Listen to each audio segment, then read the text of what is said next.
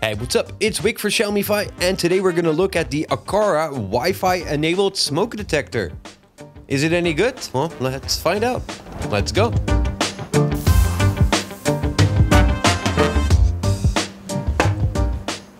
In the box, you'll find the smoke detector itself, a ceiling mounting plate, some screws, and the batteries.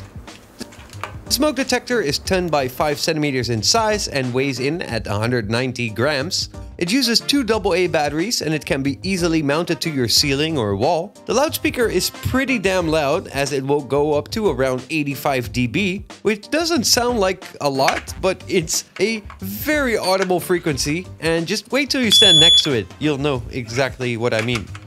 It connects over Wi-Fi to receive alerts on your phone when you're at home or away, and in China, it actually has a backup as it works with the so-called NB-IoT, but more on that in a little bit. You can mount it to the wall or ceiling using the included plugs and screws, put it in the batteries, and you can install it with the Xiaomi Mi Home app.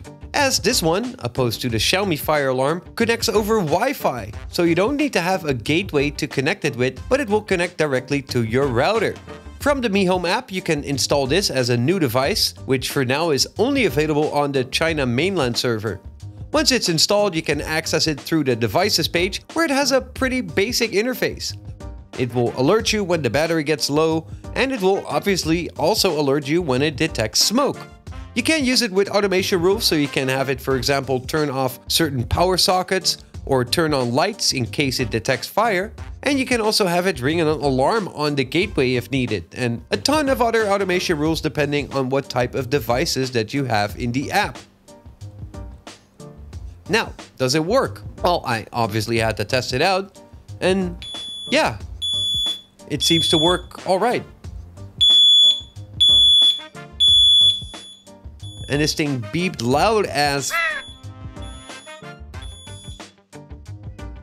So what is this NB-IoT that I was mentioning earlier? This is a service that Aqara partnered with with China Telecom and what it does is that it will send out an alert to your phone when the smoke detector detects smoke even when the Wi-Fi network is down. So it has some type of SIM card connection in there. And that, obviously, I had to try out again.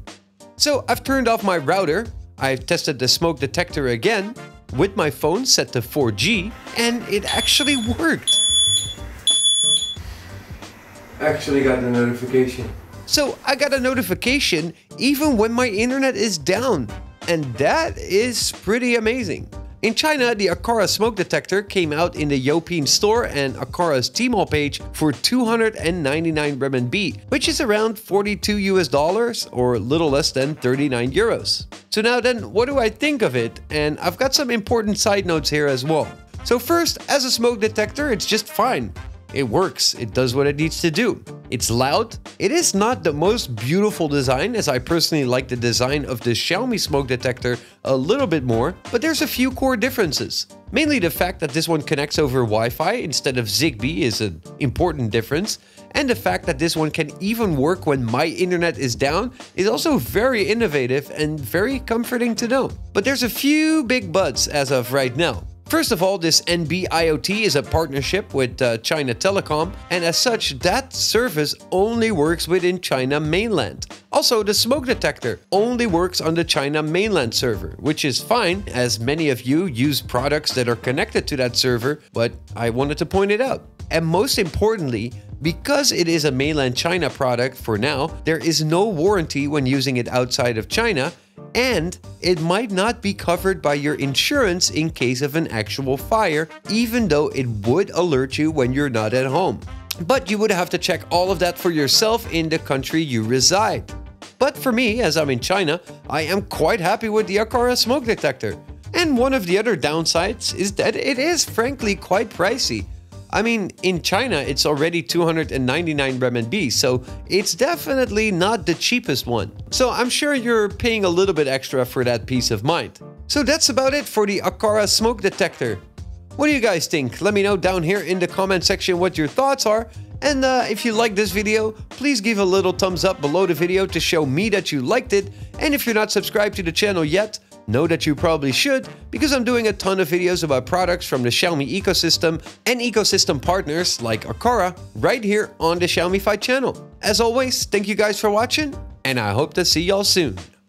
Peace!